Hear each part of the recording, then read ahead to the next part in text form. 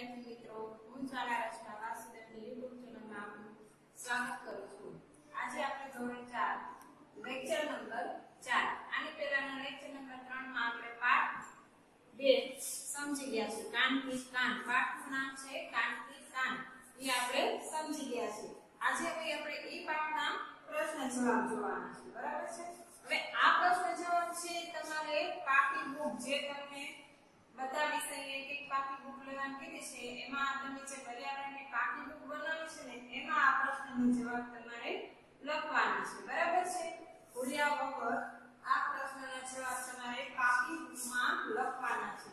આ પાઠ બીજો એના પ્રશ્ન જવાબ છે. બરાબર? વિષય છે આસપાસ. એમાં પહેલો પ્રશ્ન છે કે જેમના કાન તેના માથાની બંને બાજુએ હોય તેવા પ્રાણીઓના નામ આપો હવે આપણે પાઠમાં બધું સમજી ગયા છે, બરાબર? કે અમુક પ્રાણીઓ છે બચ્ચાને જન્મ આપે છે, અમુક પ્રાણીઓ ઈંડા મૂકે છે, અમુક પ્રાણીઓના શરીર ઉપર વાળ હોય છે, અમુક પ્રાણીઓના શરીર ઉપર પીછા હોય છે, બરાબર? એટલે જે આમાં પ્રશ્નમાં શું છે કે જેમના કાન તેમના માથાની બંને બાજુ હવે અમુક પ્રાણીઓ તમે જોજો તો એના કાન કેમ હશે તો કે માથાની બંને બાજુએ હશે અમુકના છે એના અહીંયા હશે જેમ કે હાથના કાન બરાબર એવી રીતે આમાં કોના કાન માથાની બંને બાજુએ છે પ્રશ્ન એમ છે તો જવાબમાં લખવાનું છે તમારે એમાં જવાબમાં ગાય, ભેંસ, બળદ, બકરી જેવા પ્રાણીઓના કાન માથાની બંને બાજુએ હોય છે. બરાબર? મારે અહીં જગ્યા થોડી ખોટી છે. એટલે મેં થોડુંક ટૂંકમાં લખ્યું છે. પછી તમારે પ્રશ્ન અહીંયા પૂરો કરવાનો છે. કે ગાય, ભેંસ, બળદ, બકરી જેવા પ્રાણીઓના કાન માથાની બંને બાજુએ હોય છે. બરાબર? આ પહેલો પ્રશ્ન થઈ ગયો કોંગ્રેસ? હવે પ્રશ્ન નંબર 2 એમાં છે કે પ્રશ્ન 2 છે કે કયા પ્રાણીઓ ઈંડા આપે છે? જે મેં તમને પાઠમાં સમજાવેલું છે રીતે, બરાબર? ઈંડા કોણ આપે? તો કે જે પ્રાણીઓના કાન બહાર દેખાતા નથી. મેં તમને સમજાવ્યું એમ ગરોળી છે એના કાન આપણે જોઈ શકીએ છીએ? નથી જોઈ શકતા. સાપ છે એના કાન જોઈ શકીએ? નથી જોઈ શકતા. તો જે પ્રાણીઓના કાન, એનો જવાબ છે કે જે પ્રાણીઓના કાન બહાર દેખાતા નથી અને શરીર પર વાળ હોતા નથી. તેવા પ્રાણીઓ ઈંડા આપે છે. પ્રશ્ન શું છે કે કયા પ્રાણીઓ ઈંડા આપે છે? તેનો જવાબ છે કે જે પ્રાણીઓના કાન બહાર દેખાતા નથી. તેવા પ્રાણીઓના, તેવા પ્રાણીઓ ઈંડા મૂકે છે. તો એમાં કયા કયા આવશે? આવશે તો કે સાપ છે, બરાબર? ગરોળી સાપ, ચકલી, બરાબર? એ બધા શું આપે છે? તો કે ઈંડા આપે છે. ત્યાર પછી છે પ્રશ્ન નંબર 3 તો કે કયા પ્રાણીઓ બચ્ચાને જન્મ આપે છે? હવે કયા પ્રાણીઓ બચ્ચાને જન્મ આપે છે એ પણ મેં તમને સમજાવ્યું, બરાબર? જે પ્રાણીઓના કાન બહાર આપે કે જે પ્રાણીઓના કાન આપણે જોઈ શકીએ છીએ. તે લોકો શું કરે છે તો કે એ પ્રાણીઓ બચ્ચાને જન્મ આપે છે. તો એમાં જવાબમાં શું લખવાનું?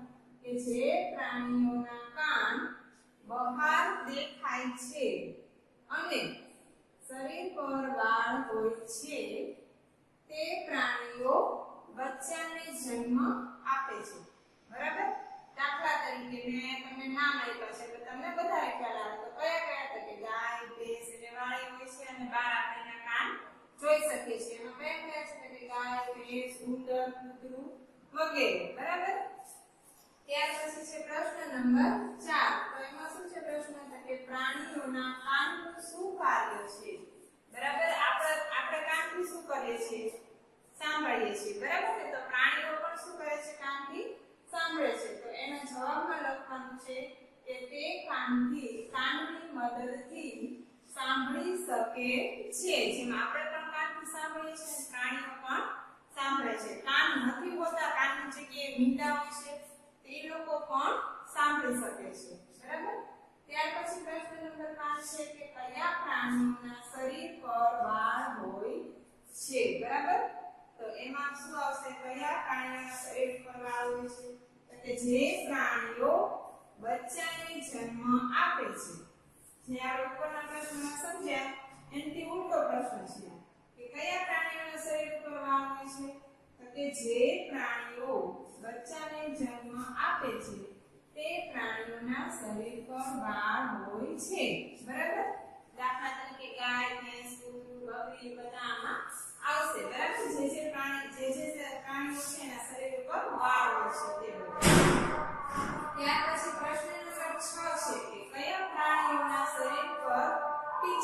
પીછા, બરાબર? તો કે કયા પ્રાણીઓના શરીર ઉપર પીછા હોય? તો કે જે ઈંડા આપે છે, તે.